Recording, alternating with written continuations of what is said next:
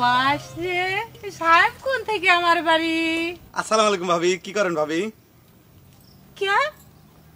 ভাবি কে? আর সালাম দিয়ে সম্মান করা হচ্ছে কি জন্য? আমি বুঝলাম না তো ডাক্তার। সম্মান দেওয়ার মতো পরিস্থিতি তো তুমি আপনিই সৃষ্টি করেছেন ভাবি। তার আগে আপনার কাছে আমি ক্ষমা চাচ্ছি। গতকাল আপনার প্রস্তাবে রাগ হওয়াটা আমার উচিত হয় নাই ভাবি। কন আমাকে ক্ষমা করেছেন? আর ক্ষমা করি বা কি হবি আর না করি বা কি হবি? যা হওয়ার তা হয়ে গেছে। বুঝলাম না ভাবি কি করছেন? আমার বিল কিছু তুমি বলে দাও। মানে?